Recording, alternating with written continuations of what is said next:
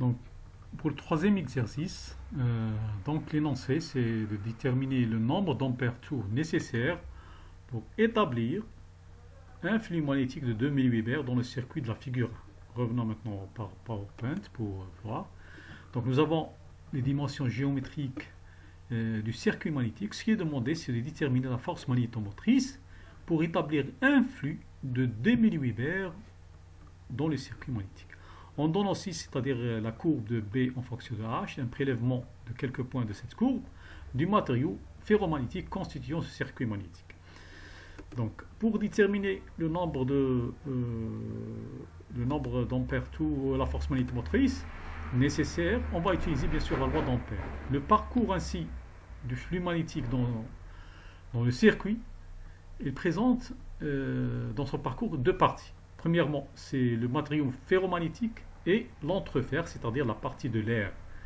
Ainsi, la loi d'Ohm peut s'écrire de cette façon.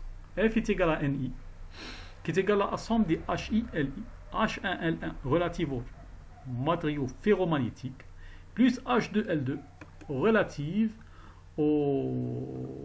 à la partie de l'entrefer. On voit bien que le parcours euh, du flux magnétique au milieu de ce circuit il fait le passage de deux matériaux, c'est-à-dire le matériau ferromagnétique et la partie de l'entrefer qui se trouve dans les deux, euh, dans les deux parties. Donc, 1, on peut dire que 1 correspond au matériau fer, et l'indice 2, ça correspond à, à, l'entrefer. Donc la formule, c'est égal à H, HFR multiplié par LFR plus HE multiplié par LE. Ce qui revient donc, pour déterminer cette force magnétomotrice, à déterminer les paramètres H fer, HE et L fer et LE pour avoir un flux de 2 mW dans le circuit magnétique.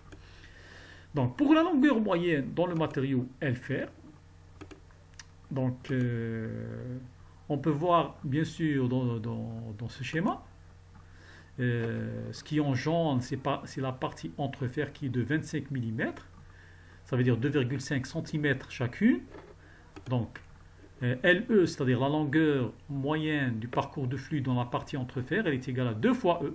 E, c'est 2,5 cm. Ça va donner 5 cm. Pour la partie euh, matériaux euh, ferromagnétiques, on remarque bien d'après les dimensions géométriques que c'est des dimensions de 16 cm de ce côté-là et de 16 cm de l'autre côté, ce qui est l'équivalent d'un carré. Donc ce parcours est un parcours d'un carré donc, c'est le périmètre d'un carré qu'il faut calculer. On va voir cette côté-là, par exemple, cette distance de ce point-là jusqu'à ce point-là. Étant donné que, que que, que, ce, parcours de flux il se trouve au milieu de circuit magnétique. Ainsi, on voit bien que cette partie, de ce point-là jusqu'à ce point-là, elle est égale à 16 cm, c'est-à-dire de ce point-là jusqu'à ce point-là, moins 2 cm de ce côté-là, et moins 2 cm de ce côté-là, ça veut dire 4 cm. 16 moins 4 cm, ce côté-là, il est égal à 12 cm. Donc le parcours, euh, ou bien la longueur moyenne euh, du flux magnétique, il est indiqué en bleu pour, le matériau ferromagnétique, à quoi est égal Donc étant donné que c'est un périmètre d'un carré, ça sera égal à 14, 4 multiplié par 16 moins 4 de chaque côté.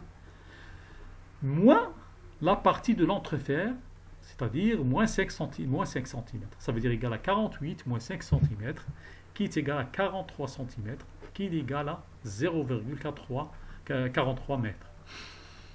Donc euh, c'est la longueur moyenne. Euh, pour la longueur moyenne de l'entrefer, donc c'est 5 cm, c'est l'équivalent de 0,05 euh, mètres. Donc H fer, on peut le déterminer à partir, euh, en connaissance bien sûr de, la valeur de B, qu'il faut bien sûr le calculer, c'est le flux par la section S, où S c'est la section du circuit magnétique. Donc cette, section, qui est égale à 4 cm, qui est bien indiqué, 4 cm multiplié par 4 euh, cm, ça veut dire 16 cm. Donc cette section-là, qui est égal à 16, 10 euh, à la puissance moins 4 mètres carrés. Donc le B, l'induction magnétique B, est égale à phi sur S. Ça va donner 1,25 Tesla. Et à partir de la connaissance de cette valeur, on peut déduire la valeur de l'excitation HFR qui correspond donc à partir du tableau 1,25 ça va donner 420 ampères tour par, euh, euh, par mètre. Pour le HE, c'est-à-dire la partie de l'entrefer, c'est le matériau ici de l'air, donc on peut déduire la valeur de HE en utilisant la relation entre B et H qui est égale à mu0 mu R multiplié par H ou mu R de R est égal à Donc la, relation va se simplifier, ça sera égal à B qui est égal à mu0 multiplié par HE. Et on peut déduire la valeur de HE qui est égale à B sur mu0. Mu0 c'est une constante qui est égale à 4 pi 10 à la puissance moins 7. Ça va donner une valeur de 80, 994 718,39 ampères tour euh, par mètre. À partir de la connaissance de la valeur de HE, H fer et la longueur moyenne du parcours du flux dans le fer et la longueur moyenne du parcours du flux dans l'air ou bien dans l'entrefer, on peut déduire la force magnétomotrice nécessaire pour avoir 2 milliweber, c'est-à-dire avoir 1,25 Tesla au niveau du circuit magnétique. En établissant cette formule, donc l'application numérique qui est égale à 420 multiplié par 0,43 plus 994 718,39 multiplié par 0,05, ça va donner 49 916,52 ampères, euh, ampères. Maintenant, passons au quatrième exercice. Le quatrième exercice, nous avons pour l'énoncé un circuit magnétique euh,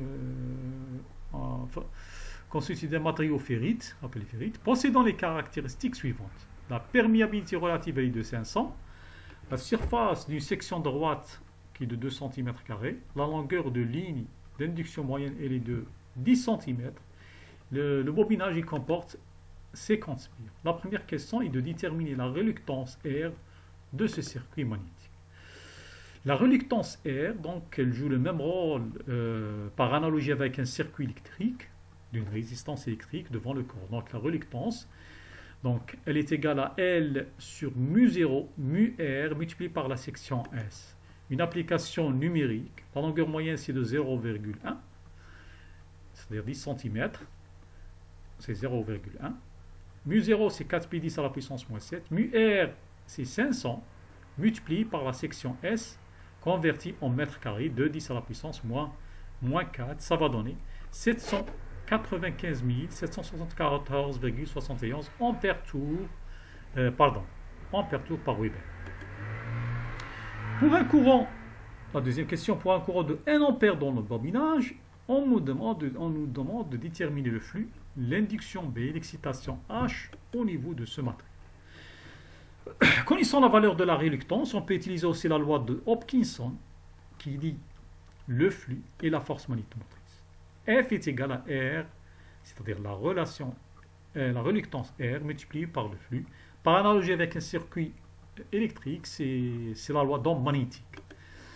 Donc, on peut déduire la valeur du flux qui est égal à la force magnétomotrice, c'est-à-dire le nombre de spires multiplié par le courant divisé par la reluctance. Et on peut déduire que la valeur de flux est égale à 62,83 10-6 Weber, c'est-à-dire 62,83 micro-Weber. Pour déterminer donc maintenant l'induction B, on va utiliser la formule, puisque le B c'est la densité de flux par rapport, euh, la densité de flux par rapport à la surface. Donc B est égal à phi sur RS, qui est égal à 62,83 10 à la puissance moins 6, divisé par la surface, bien sûr, elle est convertie en mètres carrés, ça va donner 0,31 euh, Tesla. Et on peut déduire finalement la valeur de H en utilisant la loi d'Ampère, qui la force magnétomotrice, qui est égale à H multiplié par L. L, c'est la longueur moyenne du parcours de flux dans ce circuit magnétique ce qui va donner 50 spires multiplié par 1 ampère divisé par 0,1 mètre, ça va donner 500 ampères tour euh, par mètre. Donc euh, je vous remercie de votre attention et merci.